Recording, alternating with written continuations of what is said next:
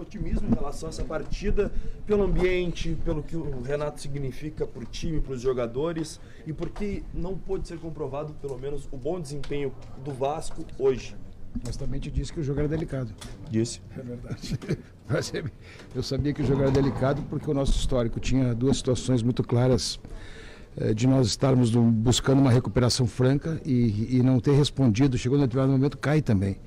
Então esse estado de relaxamento às vezes é ruim. E hoje não fizemos um bom jogo. Essa é a realidade. A partida não foi boa. Mas muito mais do que entender que a partida não foi boa, é entender por que não foi boa. E ao entender que não foi boa, se toma, as se toma como correção exatamente as coisas como tem que ser corrigidas. A conversa que foi feita após o vestiário já foi uma conversa producente. Eu tenho certeza absoluta que já na terça-feira teremos, teremos reflexo. E aqui, sinceramente, seria muito ruim é, refazer o histórico dessa viagem. Chegamos ontem muito mais tarde do que devíamos. Fizemos uma viagem de uma hora e meia para vir para cá e tudo bem, é uma logística muito complicada, mas o fato é que nós não jogamos bem. E ao não jogar bem, só tem uma situação: ninguém vai recuperar por nós aquilo que nós mesmos temos que recuperar. Então a situação é de tomar consciência de que há necessidade de fazer uma partida excepcional, uma partida boa, vencer a partida. Quando falo excepcional, é vencer a partida de terça-feira para retomar, vamos dizer assim, um caminho seguro de, de acesso. Presidente, vocês tiveram agora uma conversa aí, 10, 15 minutos com o elenco, pelo que eu entendi, todos, né? Todos participaram ali dessa conversa. O Renato cobrou, com certeza o senhor também deve ter falado algo.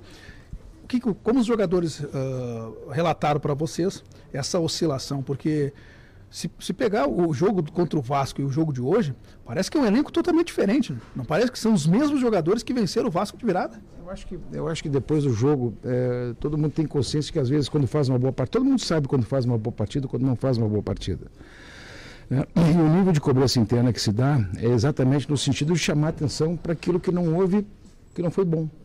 Quer dizer, o que houve ali, na verdade, foi diagnosticar de uma maneira franca, aberta, um debate correto, um debate leal de daquilo que não foi bom. E é isso que vale. Internamente no, no vestiário, é isso que tem importância. Quer dizer, as coisas serem dialogadas e trabalhadas e informadas e cobradas de uma maneira leal, porque é legítimo fazer isso. Então é isso que aconteceu ali. E isso dá muito mais um ambiente de preparação para o jogo de terça-feira, quer dizer, o jogo de terça-feira e para aqueles que vêm pela frente. É aquela situação que a gente tem que confirmar a nossa posição e, e, e, quanto mais cedo nós confirmarmos a nossa posição, melhor para todo mundo. Essa é a verdade. Não, não dá para chegar para o final. Tem que, tem, que, tem que esticar a corda enquanto possível, quanto mais, mais cedo possível, para terminar, vamos dizer assim, matematicamente essa situação. E, a, e as conversas que tiveram ali foram absolutamente conversas de lealdade internamente. E é isso que tem que ser nas horas que a gente tem dificuldade. Presidente, o senhor falou de um resultado negativo que foi hoje, mas é o terceiro consecutivo como visitante, também casualmente pelo mesmo placar 2 a 0 e eu queria também uma opinião do senhor, por que o time sofria poucos gols no primeiro turno e agora no retorno já sofreram mais que o dobro? Pois é. Acho que é uma questão técnica, né? Muitas vezes as bolas. Hoje, por exemplo, o gol foi de um jogador baixo, né? É uma coisa muito, muito, muito difícil de acontecer. É... Como é que eu vou te responder se não sou treinador? Se eu faço um juízo de valor aqui sobre isso, eu, como torcedor, tenho. Quem tem que resolver essa questão, basicamente, é o treinador. Deixa para ele responder isso. Porque todo mundo tem as suas razões, a torcida tem as suas razões, a torcida pode apontar ali equívoco ali, equívoco aqui, erro ali, erro de marcação, situação também de mérito adversário. Tudo isso pode acontecer, são várias situações. Mas o fato é que aqui não se acha culpado. A pior coisa que tem depois de uma derrota é todo mundo carimbar na paleta de alguém, culpa disso, culpa daquilo, porque não fez isso, porque fez aquilo. Não se faz isso numa derrota. Numa derrota, internamente, tu mata tudo que tem que matar na conversa leal e franca.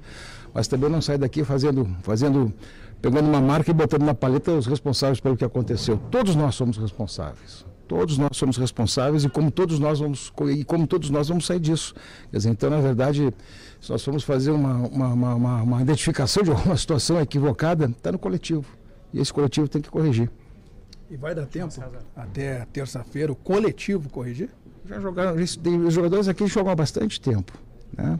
A zaga já é uma zaga que, que joga tempo. O, o, lateral esquerdo já está tempo no, no, no, no, no Grêmio. O meio-campo também já joga há algum tempo, o ataque também. Então, na verdade, às vezes são situações às vezes, de um pequeno descuido, um pequeno, uma pequena desatenção que acontece.